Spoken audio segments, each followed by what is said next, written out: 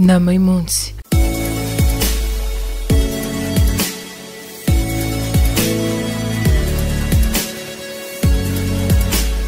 hari igiti kinini cyane cyeraga imyembe myiza minini kandi iryoshye koko. Hakaba n'umwana muto w'umuhungu wakundaga kuza gukinira kuri icyo giti cy'umwembe. Buri munsi ntiyasibaga yakundaga kurira icyo giti yaba atacyuriye akaba akinira impande yacyo. Umwana yakundaga icyo giti ndetse n'icyo giti kigakunda uwo mwana cyane.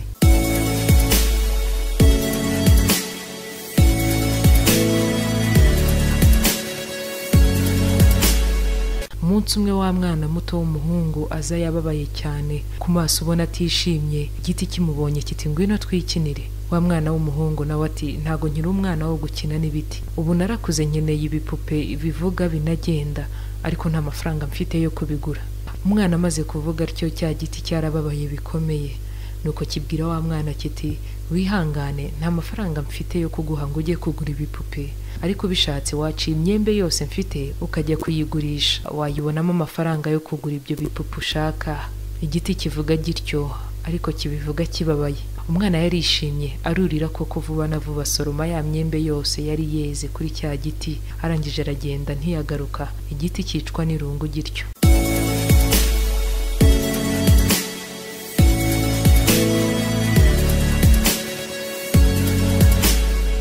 Wa mwana yaje gukura aba umuntu w'umugabo agaruka kuri cya giti nyuma y'igihe kirekire atarahageraga. Igiti na cyo kimubonye kiranezerwa. Kiti numvise ko wabaye umugabo wanashatse. Atari kubishatse waza tugakina nanone tukaganira. Wa mwana wari umaze kuba umugabo nawe ati nta mwanya mfite ubu ngubu.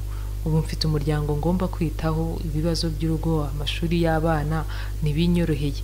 Ati icyo nkeneye ubu ngubu ni inzu yanjye. Ahubwo se hari icyo wamfasha? Wa mugabo yabwiraga cya giti bahoze bari inshuti cyane akiri muto. Igiti kibwira wa mugabo kiti unyihanganire nta nzu mfite naguha ariko urabona ndi munini cyane. Mfite amashami menshi. Wayatema. Ibiti byose wabasha kunkuraho ukabitwara ukajya kubaka inzu yawe. Umugabo aranezerwa arangije koko atema amashami menshi ya bya biti. Arangije aragenda ntiyagaruka. Amara igihe kinini atagaruka. Cya giti nanone cyongera kubaho cyonyine.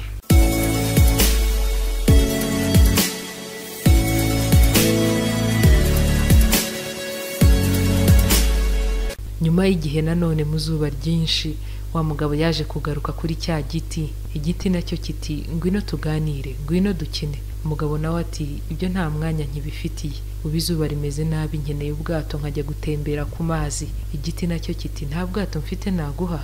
Ariko wankuraho imbaho ukajya kwikorera ubwato bwawe. Umugabo abigenza atyo arangije aragenda arahera nanone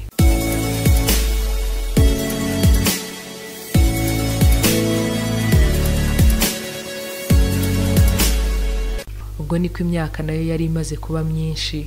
Wa mugabo amaze kuzenguruka ibihugu no kurya ubuzima aragaruka dore ko yari amaze kugera mu zabukuru. Agaruka kuri cya giti kimubonye kiti unyihanganira ubu noneho ntacyo nsigaranye cyo kuguha. Nta myembe nkigira. Umugabo wari umaze kuba umusaza nawe ati nanjye nta menyo nkigira yo gushikura imyembe. Sinayibasha. Igiti nanone kiti nta mashami nkigira. Ubu ntiwabasha kurira byibuze ngo wugame izuba. Wa mugabo nawe ati ubu ndashaje cyane ibyo sinkibibasha igiti nanone kirongera kiti ubu icyo nsigaranye ni imizi gusa. Umugabo nawe ati humura uyu munsi ntabwo ngusaba byinshi. Dore ko ngeze mu minsi yanjye ya nyuma ndananiwe cyane. Icyo nkeneye naho nakwicara nkaruhuka. Igiti na cyo kiti nyegera wicare ku mizi yanjye wenda waruhuka kuko ni cyo kintu cyonyine nsigaranye. Ibindi byose wabimazeho urabijyana ariko ntibyakubujije kuntererana. Inama y'umunsi.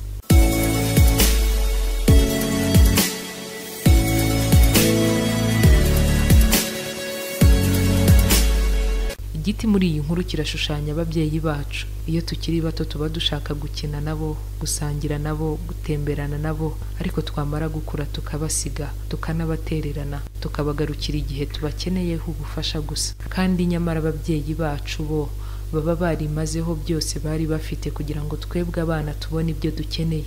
Dushatse twasubira ku ivuko tukibibashije. Inyenyeri imurikira